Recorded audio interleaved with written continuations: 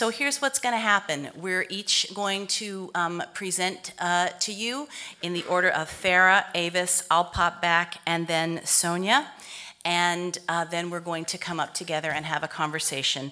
Um, so please welcome Professor Farah Griffin. I'm on the same panel with Avis and Sonia Sanchez. So, you know, I, I, nothing, things don't make me tremble, but that, that has me a little nervous. Um, and then following Maya and Ruby. Uh, I'll be quick here. Um, as a scholar, one of the things I learned early on, I think even before I became a scholar officially, as a graduate student, one of the things I learned early on was that it was almost impossible to, um, probably impossible, to choose any era in the history of this nation, even before it became a nation, where you could not find black women artists who were committed to some vision of freedom and justice. I'm almost certain that um, there was some creative black woman on that ship in 1619 who was already trying to figure her way out of that thing, um, seeing what was going to be awaiting us generations later. But we know, we know about these women, some of them, but too many of them are anonymous. And part of what I think Elizabeth and I do is not only to bring to your attention the famous ones, but also the ones who are a little less famous, or what all too often happens, the ones who were quite famous in a moment and then get lost to history. Uh, and part of our work is to make sure that they are remembered. Um, so I chose in this most recent work that I did, Elizabeth talked about it, the era of the 40s, because I realized there something about that period that produced an extraordinary generation of all kinds of people, ordinary citizens and musicians and artists, um, who were actively engaged in creating a social movement that had similar goals to the ones that we often think of in the 1960s, particularly the early 60s, the period leading up to the March on Washington, for instance, but that much of the foundation of that movement happened in the 1940s, particularly around World War II. And I want to just talk about, use the time I have to talk about one of them. Um, one of the three women who continues to inspire me. She was the one whose work I was most familiar with when I first began the project is the novelist Ann Petry. And the reason why I want to pick Ann Petry is one, she was a woman born to, not to privilege, but certainly to a certain kind of class comfort. Um, she did not have to identify her struggle with the struggles of poor and working class black people. She chose to do so. She came from a family of entrepreneurs, of educators, of people who she, her aunt was the first um, pharmacist, black woman pharmacist in the nation, and she became a pharmacist as well. But she was a writer, and she had that hunger to create and to tell stories. And when she decided to begin telling stories, she decided to tell stories about ordinary, average Harlemites and one of the reasons why I want to talk about her tonight is because I think that she gave us a lesson. If you look at the works that she wrote about during this period, um, starting in about 1938, uh, her first novel, The Street, is published in 1946. It's the first novel by an African American woman to sell a million copies, to be a bestseller, but also her short stories. She gives us characters, they're populated. She gives the world of literature people who we all know, people who she saw on a daily basis as she walked the streets of Harlem as a newspaper reporter, first for the Amsterdam News and later for um, the People's Voice. And these people that she wrote about were ordinary, average African Americans, almost always working class, but always working, struggling, people of great dignity, um, people who defied stereotypes, um, people who didn't shout from the mountaintops uh, what their political beliefs were, or even who understood their beliefs as political. She didn't show them marching, and she didn't show them engaged in political struggle. She simply did this. She showed what they were up against. And I think the reason why she remains so important to me is that she taught us a lesson that I think we all need to think about even today. In her best selling novel, The Street, she gives us a woman named Lutie, Lutie Johnson, who's a domestic worker, um, articulate, quite beautiful, single mother, married, but eventually um, is separated from her husband, trying to make a way out of no way for herself and her child, her son, Bub. She's trying to take exams to become a civil servant. Um, her idol, her role model, is Benjamin Franklin. She quotes his autobiography. She says, If I save a penny, you know, I'm going to have some money, and there's money to be made in this country, and she believes in this democracy. She is not a bigger Thomas from Native Son, right? She, what Petry shows is that it's not about her behavior. Her behavior is just fine, right? Her behavior um, is everything that we are supposed to be and aspire to right? Dignified. She's um, not sleeping with a lot of men. She's not sleeping with any men. She's turning down all kinds of offers and propositions, and she's constantly propositioning because she's a black woman. And what Petry does is show that these behavioral, um, you know, choices that she makes are all well and good, but that there are certain structures that she's up against. And that when Benjamin Franklin wrote his autobiography, he didn't have people like her in mind. And when the founding fathers created the country, they didn't have people like her in mind. And in fact, um, Petry gives us a little name, something called a junto. She names the white male character who owns the building where she works and owns the bar where she thinks she might, building where she lives and the bar where she might works. Petry names that the names him the junto. And junto is the name of the secret society that Benjamin Franklin belonged to. Now, Petry never says this in the novel, but Benjamin Franklin belonged to a secret society that helped him raise funds. It was a society that only white males could belong to, helped buy him out of his apprenticeship, helped to set him up in business. And slowly, all throughout the novel, Petry shows us how Lutie is up against structures that are even invisible to herself. All of her fiction does this. She doesn't shout it out, she simply shows it, and she shows us the dignity and the humanity and the beauty of the characters, ordinary people who we walk by every day, and the struggles that they are up against. So, my one woman, because Elizabeth made me choose only one, and as I said, there's not a decade where you couldn't pick a whole generation of them. Um, but my one woman, if I have to choose tonight, is Petry, who was also a contemporary of Ruby Dee's and who acted in the American Negro Theater in the basement of the Countee Cullen Library with Ruby Dee and with um, uh, Harry Belafonte and Sidney Poitier before they all became great names. This was, this was some generation. Um, and so I want us to think about Petry, and then I want to close with one of her contemporaries. Um, and that is one of the other women in the book who is Pearl Primus. And I think that Pearl Primus and Ann Petry leave us with a challenge that is as important today as it was yesterday or in 1943 when Primus said this. She says, In America's bosom, we have the roots of democracy, but the roots do not mean that there are leaves. The tree could easily grow bare. We will never relax our war effort abroad, but we must fight at home with equal fierceness. This is an all out war, and we will not stop fighting until everyone is free from inequality. That was the challenge that they took up themselves. It's the challenge that they leave with us today. Thank you. Um, this is a great segue. I'm Avis Robinson, and um, it's just really an honor to be here, and I'm really so pleased to be a part of this panel, and I thank you so much for inviting me to be here. Um, my interest and my talk is pretty much about a quarter century of collections and my effort and Eugene's effort to collect and preserve the artifacts about African American heritage throughout the world. What we've tried to do is explore African Americans' quest for equality throughout the colonial period and through the 20th century.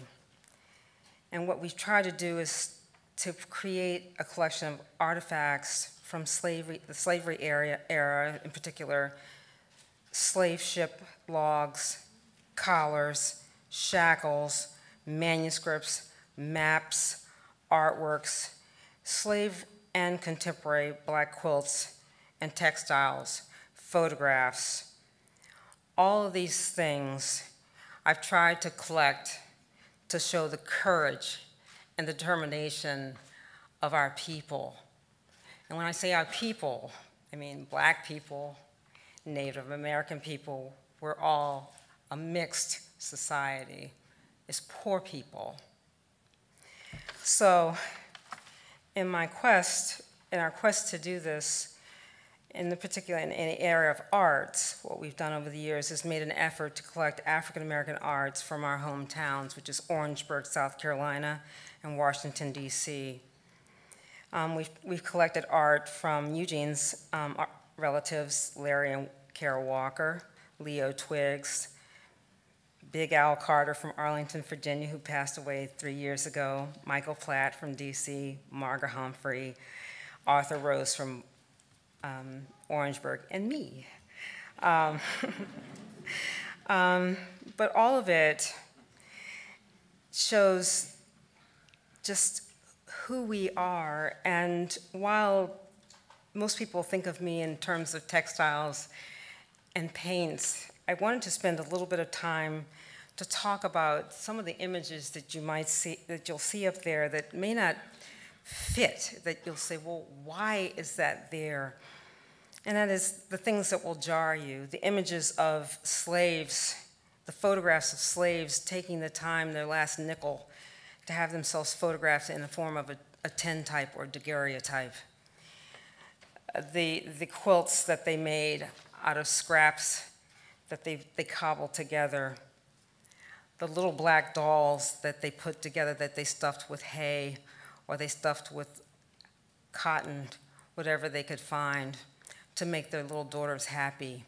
Those are the things that I'm most interested in, and those are the art forms that I'm most interested in. So if I had to choose an artist that I'm most interested in, it would be this person that I discovered in May. I found a group of documents from Newburyport, Massachusetts. They were all crumbled up from the 1720s, 1777, and I found this document from 1773. Nancy Collins, my, my surname, my, my maiden name is Collins, from Newburyport, in which they were taking her and putting her on Plum Island because she had smallpox. They inoculated this, the colonists inoculated themselves, but they didn't inoculate the slaves. So when we got smallpox, they just put us on Plum Island to let us die. So I think about people like Nancy Collins, Negro Nancy Collins, and all the other Negroes that got smallpox during that period in January 5th, 1773 that I found that people don't talk about, that it's difficult for scholars to find. And I've taken those documents, and Frank Mowry and I have worked and spent thousands of dollars to conserve 3,000 documents of African Americans that people didn't count in the census in the North that need to be saved. Because in the North, we weren't called slaves. We were called bondsmen and bondswomen. And what they did was they didn't count us in the census because we were the shadow economy. Sometimes it pays to be an artist and an economist. Because at the, um, and so my life is pretty much dedicated to remembering those people that they didn't count it's pretty much like today. We know Hispanics build our houses. We know that they raise our children, but we know they're illegal because they're a part of the shadow economy. And so, so we continue to perpetuate the poor laws that we established, or they established, in the 1740s today. And that's why I think it's very important for us to teach our children the history of America of the past. Because very much the poor laws of the past are pretty much what we are implementing today. And while we may say that it's not important that it's the past and we need to forget about it, we should not. We should not forget Nancy Collins, who wasn't counted in the census. And we should not forget the people of today who are from Africa or wherever they are. They should be counted. They're in our society, they contribute. They built the colonial ships, they built the roads, they made the colonialist Revolutionary War shirts, shoes, quilts. They made it all. I have all the documents that show that we made it all, but we did not count. Now, the image that I have out there of the slaves, most people think of the cotton gin, and that cotton gin is from the late 1790s. That is an Eli Whitney cotton gin. Should not be walked, you shouldn't walk by it because most people think of the Eli Whitney cotton gin as the Industrial Revolution, but most people don't remember that most slaves were in West Indies and that they were making the molasses that went to Newburyport, where all the distillery were, and they had the rum, and off they go. So, what is important to me is to help you all, people, in through art, is to make the connection of economics.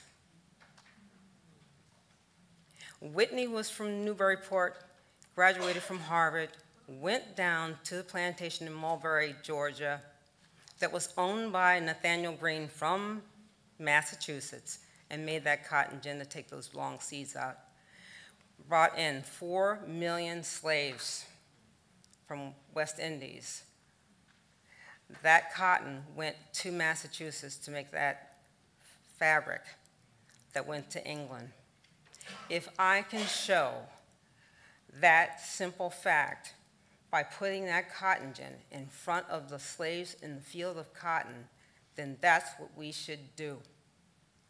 If I can paint a picture of Nancy Collins in that poorhouse in Massachusetts, then I will. If I can paint a picture that makes people understand that the triangle trade wasn't triangular, but rectangular, and it was involved opium and rum and slaves in Massachusetts, then I will. That is what art is all about. We have to save the little black dolls that we made. We have to save the quilts that we made. We have to save the photographic images that the slaves took of themselves because Photographs are art. Those dolls they made for the children are art. And so what I tried to do was to take the artifacts, the old quilts that they made, and put it on those women, and put it on their dresses, so that you'll remember that old quilt that someone made in the 1800s out of scraps because that's all they had. So that is what, to me, art is all about.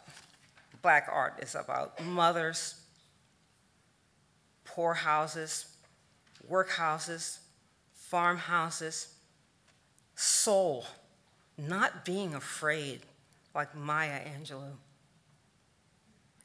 not being afraid, and have somehow, through their strength, they'd have made us who we are today, to be fearless. They were fearless, and somehow we made it through.